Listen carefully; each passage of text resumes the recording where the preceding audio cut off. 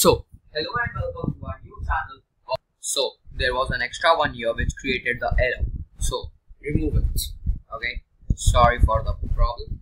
So, let yes, let's run it. See, this moves on our console, right? Let's go on. Yes. And now we'll create computer dot y is equal to ball dot y semicolon.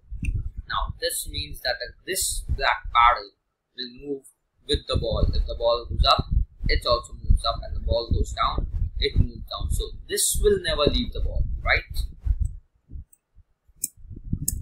Now we'll create the if conditional statement, and under it we write in the parenthesis ball dot x more than 400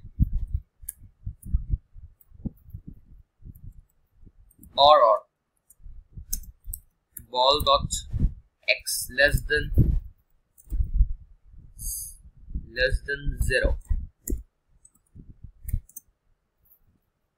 now this gives us so here we'll write ball dot velocity x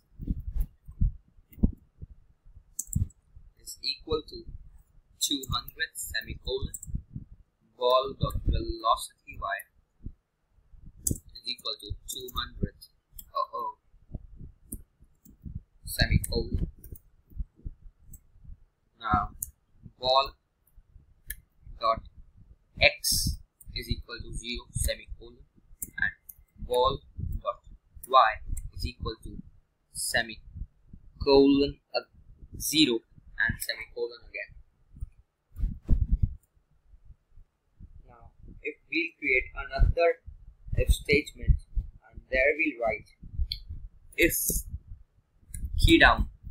Is like this. And as we cannot forget to create a parenthesis for the if statement. Here I'll give space as we want as I mentioned before we want our control to be in the space bar key. You can give any comfortable key which you feel to be.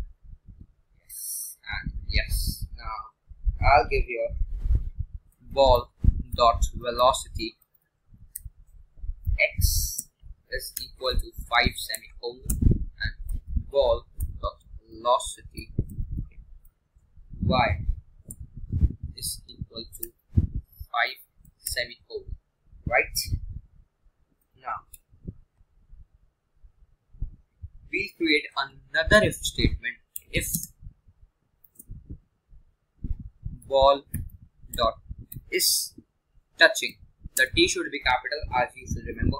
Now this you can easily understand what does this mean. Means if the ball is touching any target specifically here as a left edge means this edge where the player paddle moves yeah. Then we'll give it an instruction to uh, display and text as I showed you in my preview text and we have to create parenthesis and there we write in caps you lose and some some cool exclamatory marks. We'll remove we'll switch off the caps. Create uh, we'll give a comma and a space. Then 160 to be uh, actually it's 200 but when it starts from 200 it moves on towards the left so we'll give 160 so that it sticks to the center. Comma 200 as the width. Comma we'll give it a color. Over here I'll give fill and under parenthesis and double quotes. Uh, I'll give blue. You can give any color you wish to. And under comma you write text size. Yes text size. There you can give any size you wish. I'm giving 20 which is more than enough. And text font. Providing all this is not necessary as the computer has its defaults uh, but it's cool for us right? Oh now see I didn't give us semicolon. Now only a last part of the game is left that's bouncing. Now ball should bounce when it touches the top edge. So bounce ball dot bounce off. Right? Now ball dot bounce off. We'll write top and E should be capital of the edge. Similarly, uh, semi semicolon and ball dot bounce off for bottom edge. And a semicolon. Now ball dot. Bounce off for the computer paddle basically. But we have named it computer so we write computer. And ball dot bounce off for the play paddle but we have named it as play to keep it precise yes. Now our program is basically over. So we reset it because we have changed the program and then run it. Now as I press my spacebar oh sorry. See at this place then also we'll run it again. And yes.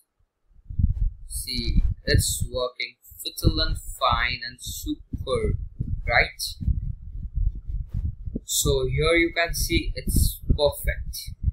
So thank you for watching our channel. And please don't forget to like and subscribe the video